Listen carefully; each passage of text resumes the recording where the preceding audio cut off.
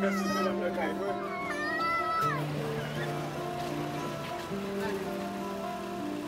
a subi beaucoup de pertes. La famille, des pertes économiques. La situation des femmes s'est nettement dégradée en Haïti après le tremblement de terre. Ce mouvement féministe qui a pu établir le ministère à la condition féminine, qui a pu obtenir la loi que le viol soit devenu un crime, a été sévèrement touché et ses ressources ont été dispersées. Beaucoup d'organisations de femmes ont perdu leur bureau et leurs leaders et donc ont eu leur force carrément diminuée après le tremblement de terre.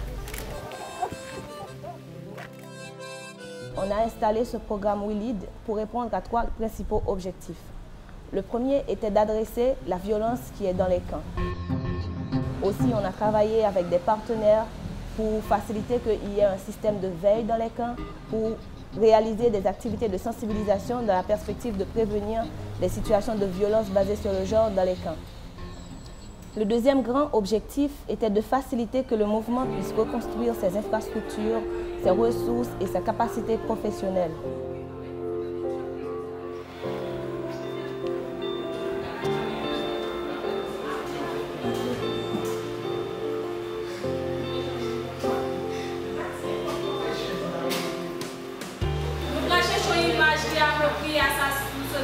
Là.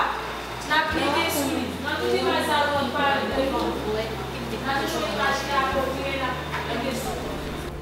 Willid, dit Willid, c'est dit un lieu d'apprentissage et de service. À travers du centre, à travers ce qu'on prône à Willid, on voit que les femmes qui fréquentent Willid connaissent un petit peu mieux leurs droits en tant que femmes, an tanke person. Nou kapap mache. Nou kap nan tout sosyete a, nou kap nan tout bagay tou. Se pa sel gason ki, ki kap nan sosyete a, nou menm fom, nou kap leve kampe tou pou nou fet tout bagay. A Willid, on les aide par le moyen de formation qu'on fait. Elles peuvent travailler, soit impliquées dans la politique de leur pays, soit impliquées dans tout ce qu'il y a à travers social, à travers l'éducation, soit impliquées dans tout ça dans le pays. Donc là, on prône l'autonomie, le leadership des femmes. La reconstruction d'Haïti doit normalement passer par euh, une participation assez inclusive où chaque Haïtien et chaque Haïtienne apporte euh, sa petite pierre. Donc tel a été le travail de WILID où nous avons euh, essayé de mettre ensemble les différents membres du gouvernement, les membres de la CIRH, notamment les organisations de femmes, pour voir euh, comment on peut faire la mise en commun de tout ce potentiel-là pour faciliter une meilleure reconstruction d'Haïti. Ici, depuis le berceau, une fille apprend à être inférieure par rapport à un homme et l'homme apprend à être supérieur. C'est- notre société, c'est une société vraiment patriarcale. Donc, on a, il y a une division de rôle et on apprend à être une fille et on apprend à être, à être un garçon.